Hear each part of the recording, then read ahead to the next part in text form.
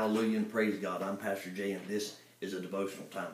Well, I hope that each and every one of you had a, a wonderful and awesome time out at your respected churches this weekend. Well, out at LFBC, we had a uh, uh, just an awesome, awesome moving of the Holy Spirit. Um, it was just such a special time.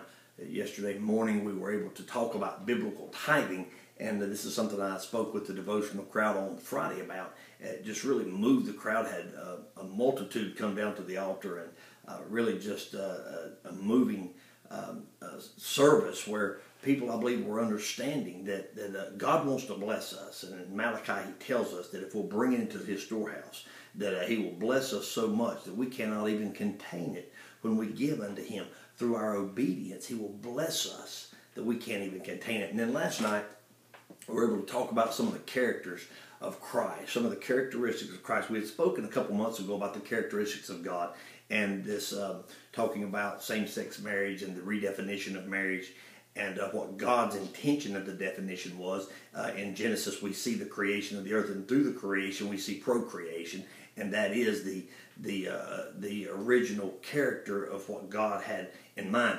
Well, we're looking at the character of Christ last night, and I want to just talk to you just for a few moments about how Christ provides for us, but sometimes, for some reason, we just don't see it and we don't understand. We can we can be on top of the mountain. We can be sitting underneath His blessing, and for some reason we still have problems realizing that Christ will provide all our needs. Before we do, let's pray. Dear gracious Heavenly Father, thank you, Lord Jesus, just for for providing for us, Father. Thank you for the wonderful time out at LFBC this weekend, Lord God. Just uh, to all the ones that are on the online congregation here this morning, Father, just bless them and touch them. In Jesus' name, amen amen. Well, in the book of Mark, Mark 8, we see that uh, that uh, at, at the end of 7, Jesus had went into the uh, the region of, of, of Tyre and Sidon, and uh, he was healing people.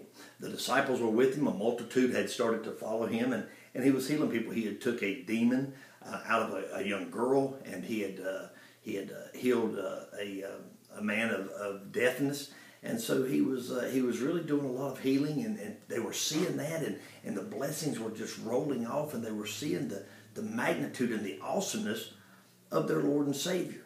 Uh, you know, and, and so in eight we see that that um, as he is um, was uh, still in that region, it says he they were they were walking out, and he had looked back and saw that he had uh, gained a great multitude, and this is the four thousand, as most of you know, and he had gained a great multitude of people behind him, and they were following him. And they was out in the middle of nowhere. Some of them had left their homes days ago, hadn't eaten in days just to follow and listen and watch him heal people and to hear him teach. And oh, what a what a what an awesome and glorious uh, time it must have been. But see, Jesus uh, had sympathy on him. He said, "These people haven't eaten in three days. Uh, they need they need food." And and the disciples, in their love, and I'm sure in in, in their uh, their awesome ignorance, uh, as so many times we are, they looked over and said, Where are we to get bread? Where are we to get nourishment? Where are we to get fulfillment in the middle of the desert? And Jesus, obviously, this is where he says, Give me the bread and the boys' lunch, and he multiplied it and fed the masses.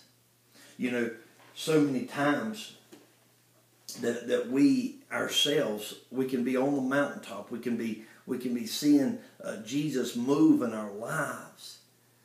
And something will come up and we will, we will bang our head against the wall trying to figure out how to fix something, how to do something.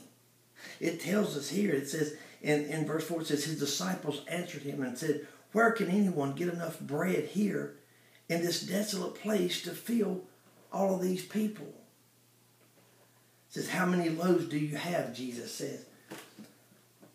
Jesus says, take what you got. You don't need to have everything. Take what you got. And he will use it to glorify his kingdom. Hallelujah and praise God. You see, so many times, as I said, we feel like we can be on the mountaintop where we look over and we try to do something on our own.